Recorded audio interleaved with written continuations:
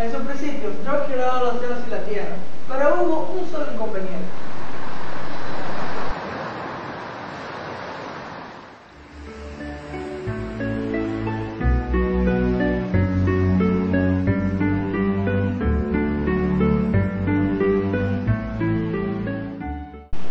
Dios le dijo a Adán que no coma del fruto prohibido.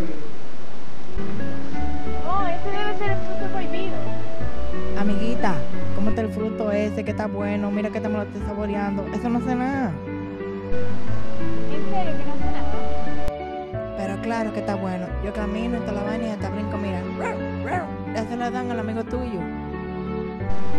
Ah, ok, le voy a dar a Adán.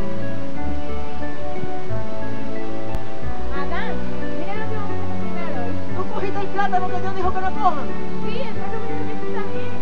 ¿Estás segura que está bien? De verdad, mi amor. ¿Cómo a cocinar eso?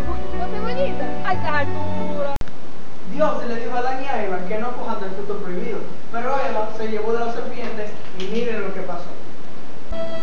Adán, has comido del fruto prohibido. Al perro. Yo, yo no comí nada. Yo ni siquiera una mordida le di. Eso fue Adán. Tú serás maldito entre todos los animales. No, Dios fue Eva que lo cogió. Por culpa de tu mujer, maldita será la tierra y tendrás que trabajar para conseguir tus alimentos. ¡Ay, Dios! Esta es la teoría de la creación. ¿Qué tal de la evolución? ¿Y usted, señor Eloís, qué me puede decir de esto? La teoría de la evolución es una teoría que daba por ser sabio, que decía que había un grupo de cavernícolas que un día estaban comiendo un mar al azar, franco, y vino un meteorito y se lo había. Y miren lo que pasó y cómo fue.